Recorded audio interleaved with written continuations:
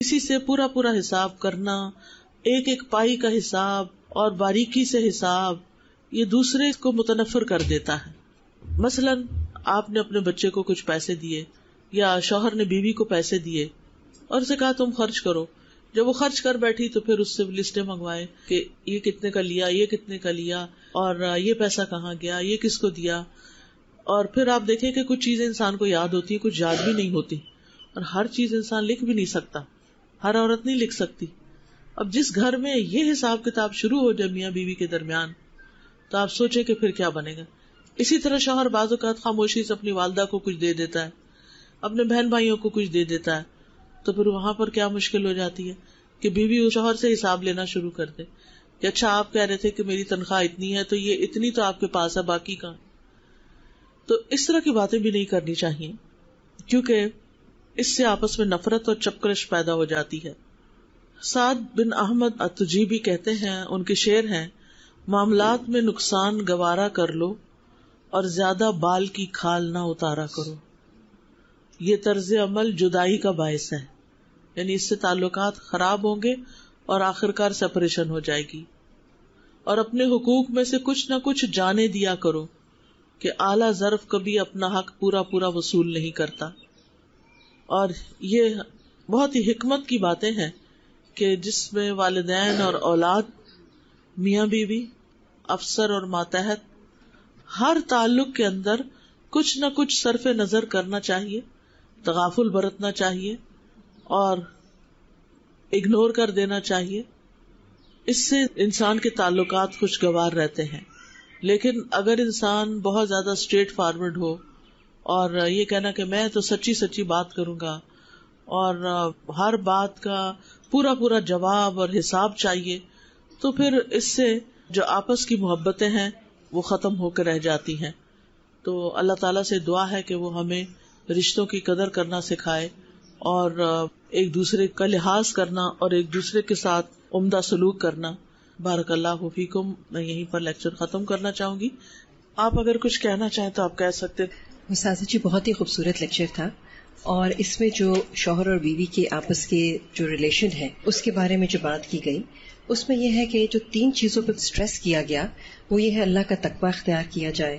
اسی طرح تحفظ دیا جائے، شوہر جو ہے بیوی کو تحفظ دینے والا ہو یعنی پروٹیکشن دینے والا ہو انکریج کرنے والا ہو فار گیونگ ہو، یہ بہت ہی ایک خوبصورت بات ہے کہ اس ریلیشن میں انسان کو بہت سی چیزوں کو اگنور کرنا چاہیے۔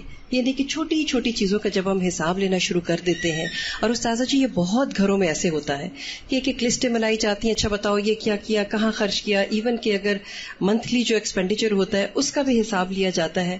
تو یہ چیزیں واقعی انسان کے لیے بڑی ایک جدائی کا باعث بھی ہوتی ہیں، دلوں میں انسان کی ایک دوسرے کے لیے وہ فیلنگ پھر نہیں رہتی۔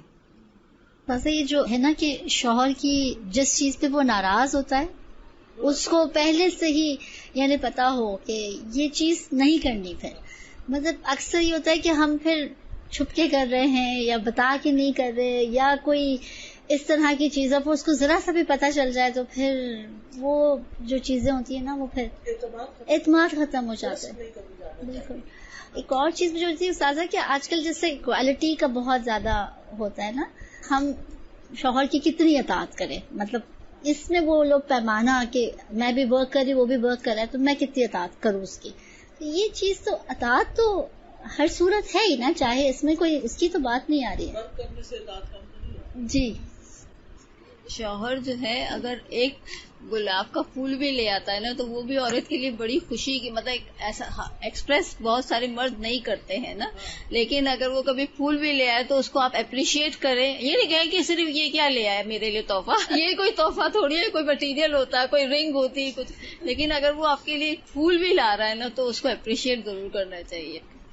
السلام علیکم۔ چھوٹی سی بات ایک پوچھنا چاہوں گی میں کہ ایک تو یہ ہوتا ہے کہ ہم لوگ کی تو خیر ایجز گزر گئی لیکن آج کل کے بھی سراؤنڈنگ میں بہت لوگوں کو میں بچیوں کو دیکھتی ہوں کہ بڑی ناراض ہوتی ہیں کہ ہسبینڈ شادی کی ڈیٹ نہیں یاد رکھتے برتھ ڈے یاد نہیں رکھتے، یہ نہیں ہے، وہ نہیں۔ تو اب مجھے بڑی بےمانی لگتی ہیں، یہ چیزیں ہو سکتا ہے میں اس ایج اسپین کو کراس کر چکی ہوں، شاید ہو سکتا ہے مجھے بھی جوانی میں لگتی ہوں گی، لیکن ان بچیوں کے لیے کچھ پیغام آپ دیں۔ آپ دیکھیے کہ ساری مشکل اس وقت پیش آتی ہے جب ہم یہ بات بھول جاتے ہیں کہ مرد الگ جسم رکھتے ہیں، الگ سوچ رکھتے ہیں، الگ طرح سوچتے ہیں اور عورت کا جسم بایولوجیکل ڈفرینس ہے اس میں۔ وہ مختلف ہے اپنی حیت کے اعتبار سے۔ اللہ نے مرد کو اور کام کے لیے پیدا کیا ہے، عورت کو کسی اور کام کے لیے پیدا کیا ہے۔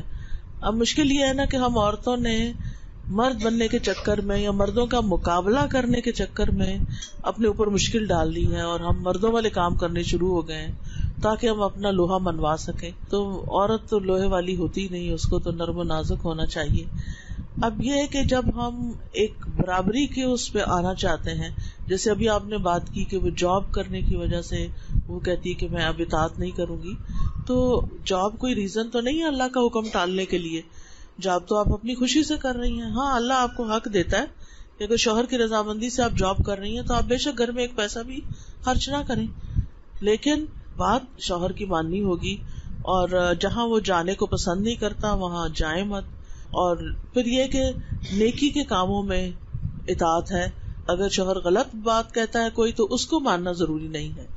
لیکن یہ جو بات ہے کہ یہ ایکسپیکٹیشن رکھنا، اصل میں عورتیں جو ہوتی ہیں نا، وہ ان کی سوچ کا انداز یہ ہوتا ہے کہ ایک وقت میں وہ کئی چیزیں سوچ سکتی ہیں۔ Multidimensional multitasking multidimensional کیونکہ ان کا کام ایسا نا، ادھر سے بچہ رو رہا ہے، اسے دودھ بھی پلا رہی ادھر سے باہر کون آیا ہے۔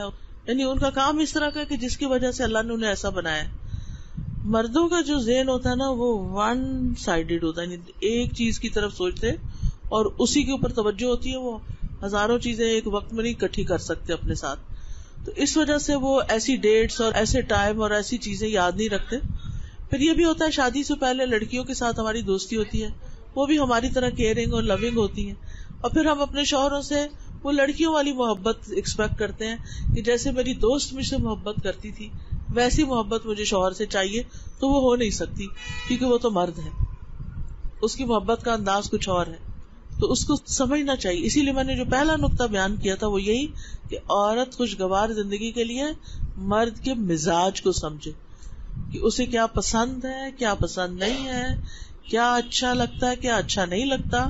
اسی طرح شوہر کے لیے بھی لازم ہے کہ بیوی کے مزاج کو سمجھے کہ کن باتوں پہ جلدی غصے میں آ جاتی ہے، کن چیزوں سے جلدی خوش ہو جاتی ہے۔ تو ان چیزوں کو کر لے، کیا فرق پڑتا ہے؟ اس سے کوئی یعنی کہ ہمارے اندر ایگو نہ ہو تو ان کاموں کو چھوٹے چھوٹے دوسروں کو خوش کرنے کے لیے کوئی بہت بڑا مسئلہ نہیں ہوتا۔ تو یہ ہم فرق نہیں سمجھنے کی کوشش کرتے کہ مردوں اور عورتوں میں فرق ہے۔ اب ہم دعا کر لیتے ہیں۔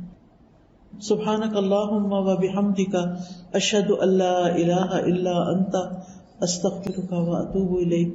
السلام علیکم و رحمۃ اللہ وبرکاتہ۔